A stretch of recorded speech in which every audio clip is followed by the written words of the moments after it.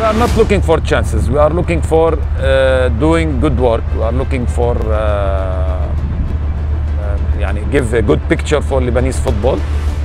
Uh, and we are looking for uh, have good result as much as we can. We play against Korea before and we make we lost 2-1 but we fight till the end. I think we are going to do the same in this uh, those groups.